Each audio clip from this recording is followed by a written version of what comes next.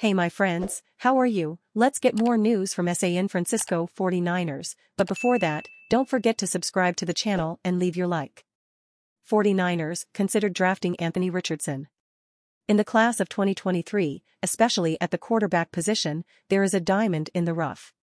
A player so unlikely that there is no certainty or agreement about him among analysts, not even the most experienced analysts in the league.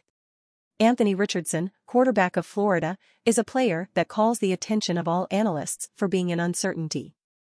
Richardson had just one season as a starter for the Gators, and while he has drawn attention for his strong arm and physical prowess, he has problems with accuracy.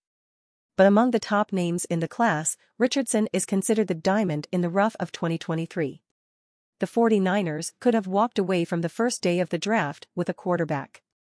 This Monday, 1, the head coach said that the team seriously considered selecting Anthony Richardson with the fifth overall pick. We considered it, admitted the head coach. We flew all the way, to the other side of the country, to see him. Not just to see it, but to be with him and see how he performed with the show and all the expectations around it. However, Richardson was selected by the Colts with the fourth overall pick.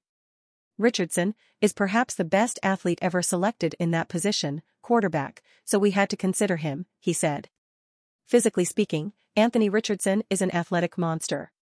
The young quarterback is listed, according to Sports Reference, at 1.94 m tall and 107 kilograms, in addition to being very fast, 4.4 seconds on the 40-yard shot, and with a very strong arm.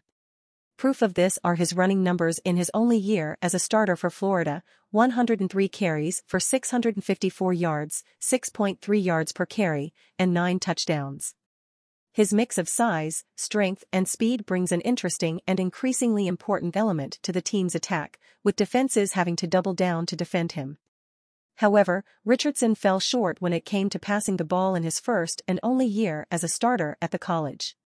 In 2021, there were only 2,549 passing yards and a measly 53.8% of completions, with 17 touchdowns and 9 interceptions.